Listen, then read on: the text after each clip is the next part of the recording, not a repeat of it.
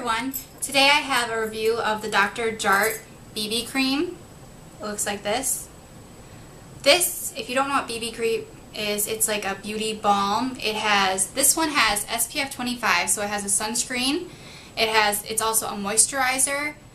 It has like a skin perfecting color in it, so it's kind of like a tinted moisturizer but better. And it has like a serum in it that stops sweating and helps with blemishes.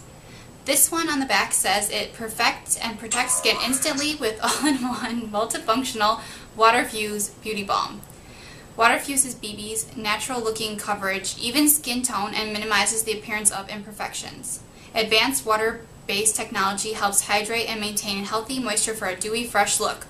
Oil-free and minimizes the need for foundation or concealer. Added sunscreen protection for simple one-step skincare and neutralizing coverage.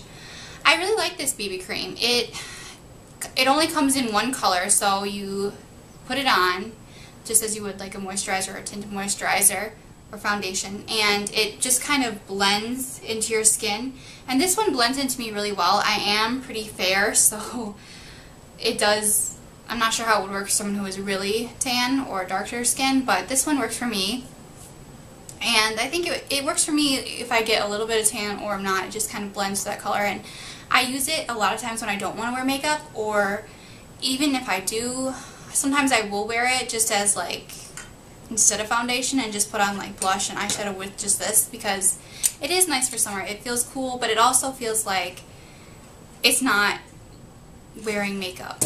And I like it because it helps me keep moisturized because sometimes my skin can get really dry. I also feel like this BB cream gives good coverage and hides like any imperfections. I like that and I I also think this BB cream helps clear up blemishes. Since I've been wearing it mostly every day and not foundation, I feel like my skin has been a lot clearer and just it feels more moisturized and just nicer.